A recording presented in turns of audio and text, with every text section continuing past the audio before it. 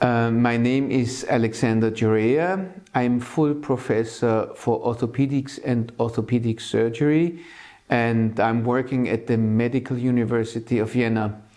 At this uh, very honorable institution, I am the head of the adult reconstructive team and deputy head of the department.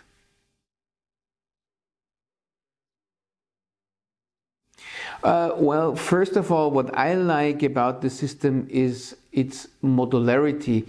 As you can see, you can choose from short cemented stems to cementless longer stems.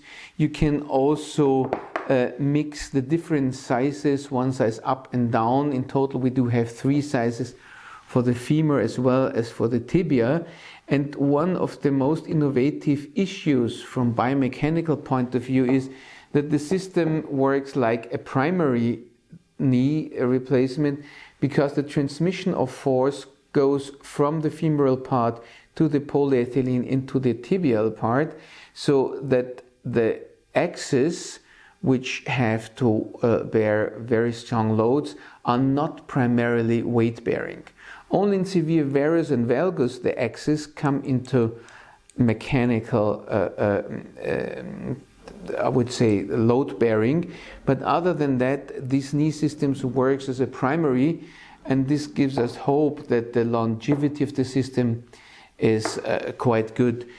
Another point is that in this knee system, the CFR PEEK, as you can see it here, this is a special Uh, uh, uh, manufactured and biomechanical proper um, plastic part is the first time introduced into a knee system and this was done due to a high resistance of mechanical load. So from the mechanical principle or biomechanical principle, I think it's a very modern system. It offers a very good modularity and is not too complex uh, for the daily use in orthopedic uh, routine.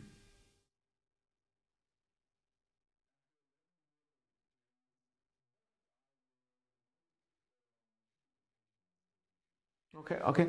Uh, well, actually, I, I've treated at least 150 up to 200 patients with Enduro system, and uh, it was shown that there are more or less two types of patient who really can profit from this system. The first are uh, patients who have severe primary osteoarthrosis of the knee joint with varus or valgus deformity more than 20 degrees or neuropathic um, arthropathies of the knee joint. And uh, the other group are the patients who have to undergo revision after infection, periprosthetic fracture, or aseptic loosening. Um, I know in the literature it's, or it was in the past, uh, almost a no go to implant a system like this in uh, severe primary, but we do have very good experiences with uh, uh long time results of more than 90% uh, of survival after nine years of follow up. So these two groups, severe primary, elderly patients, as well as revisions of any kind, can profit from the Enduro system.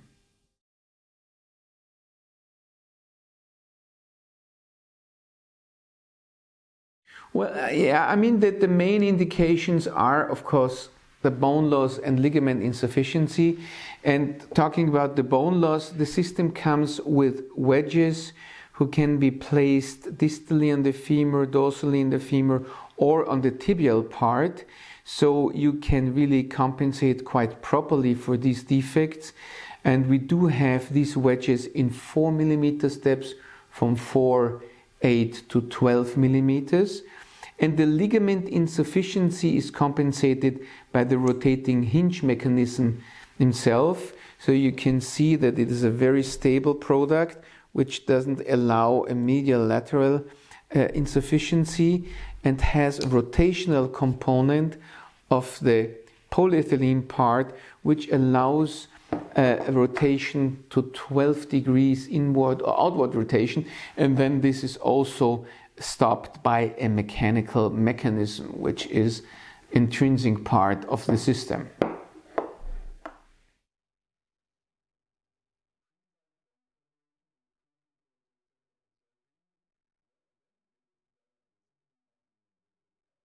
Well, that, that's also a big advantage of the Enduro system that the instruments are very precise. I just grew up with other revision systems, and you start with a wonderful plan and you start with bone preparation as precise as possible. And the longer the operation is, the more free handed the procedure becomes. And this is, to my knowledge, the first uh, system that offers very precise bone cuts and preparation system that provide a very good uh, press fit for the implant, especially on the epimetaphyseal part of uh, uh, the knee joint.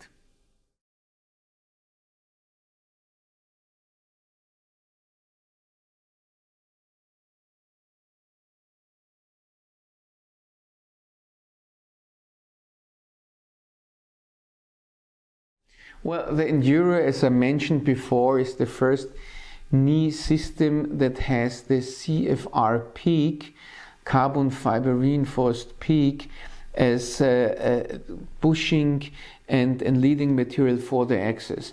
And now, after 13 years of experience, I haven't seen a single case with failure or debris of uh, uh, plastic parts. So, they seem really to fulfill the demands that we were expecting it from, and it's uh, resistant in comparison to normal polyethylene. And I come from, from a clinical institution where we do also a lot of bone tumors and have to implant tumor prostheses who are running mainly on the axis, and we always had problems with early wear of this polyethylene. So I'm convinced that this CFR PEEK is a very big advantage and step forward in terms of resistance material.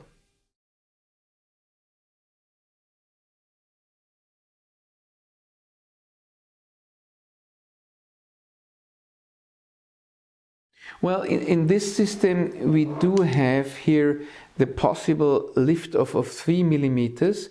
This was just introduced to get a high flexion, even if you have obese patient with an impingement in, in the dorsal part, so that it can be lift off for 2 to 3 millimeters.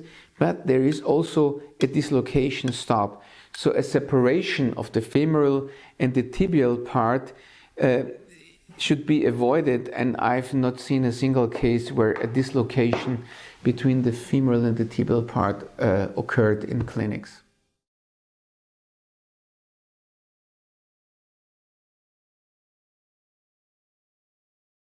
Um, we were following the Enduro system now for uh, almost 12 years, and I published uh, our early results uh, several years ago. We did a two year study and a five year study, and the two year study was actually a collaboration with another um, institution where we reported on the results of 152 Enduros. And then I published the the midterm results, the five year results. And recently we were able, and I'm proud that we could publish our seven years result of the Enduro. And we included 73 patients who received the Enduro with a minimum follow up of seven years. So the average follow up was nine years. And from these 73 patients, there was only one patient lost to follow up. 16 patients died due to other causes than the knee replacement system, and uh, 56 patients were liable for clinical and radiologic examination with a minimum follow up of seven years. So I think this study gives us some idea about the performance and the longevity of the system. And uh, the main results are the survival and the clinical outcome. The survival shows an overall survival of 76%. In other words, as we were just going for the competing risk analysis, the cumulative incidence for revision for any case was 23.6 after 7 and 10 years. And in this publication, we were also introducing or we were following a new classification of failure modes where we could identify what is the performance of the prosthesis itself.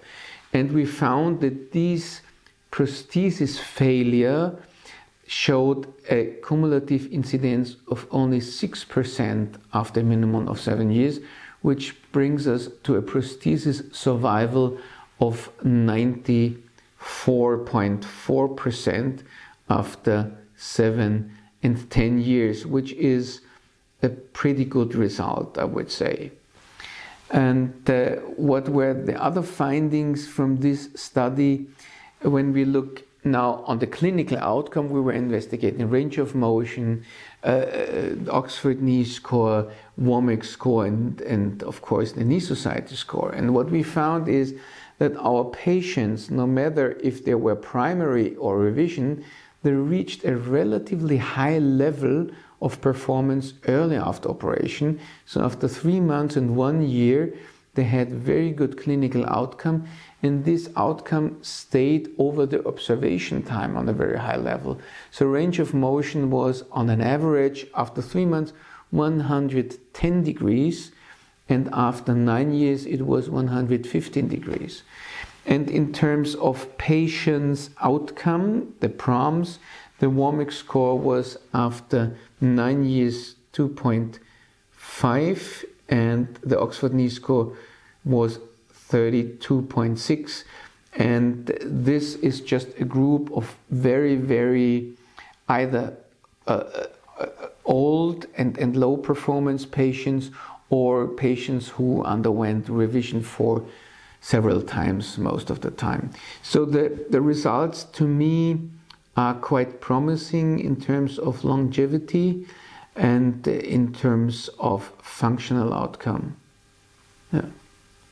Probably before you ask that, another finding that that uh, we just investigated was what what are the risk factors for revision of the enduro system, because when we're talking about a, a survival rate of 76%, so what happened to the 23 others? And we found out that the most common complication was due to infection. And we found a reinfection rate of 30% in our patients who were treated by this Enduro system. And the risk factors for, for um, uh, revision was uh, calcul calculated by Gray's test, and it was shown that there were two risk factors. One is infection, prior infection, that leads to a higher revision rate. And the second thing was uh, the diagnosis. So patients who received the Enduro due to severe primary osteoarthritis performed much better and had less complications than the revision group.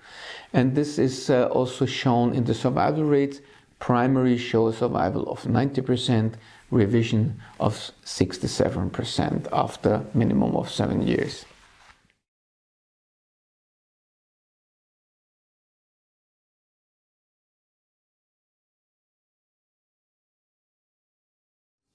Well, uh, actually, especially for the Enduro system, I'm very much looking for the extension gap balancing. Why?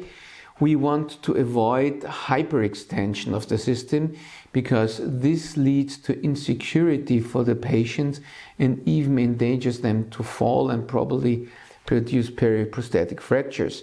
So I'm very eager in, in just balancing the gap in extension very tightly so that hyperextension can be avoided.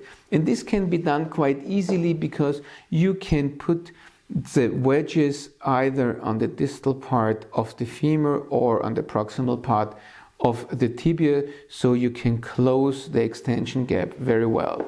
The flexion gap, to my experience, is not a problem because the system allows a very good performance in terms of flexion as I told, after three months, an average flexion of 110 degrees was achieved, and this was just even improved until nine, the ninth years of follow up up to 115 degrees.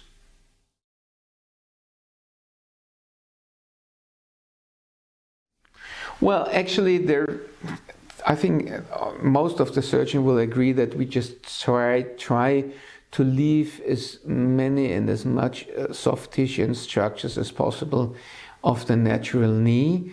Uh, but in cases of contract knee situations, like in a fixed severe valgus deformity, or even in case of uh, knee prosthesis infection where you had a fixed spaces in place for let me say six, eight, ten weeks, and you have to face a very contract structure and situation of the knee joint.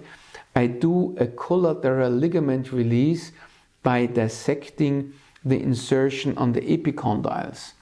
And when you do so, uh, then the, the collateral ligament can adapt again and form a scar tissue around the knee joint and create an envelope.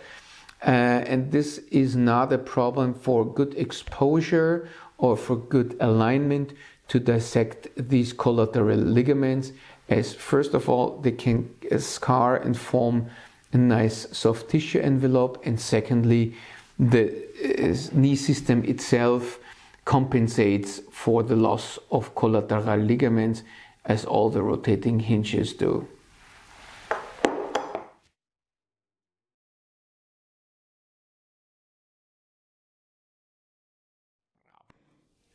Thank you very much for your attention, and I hope that uh, you've got some helpful uh, information on this knee system. Thank you a lot.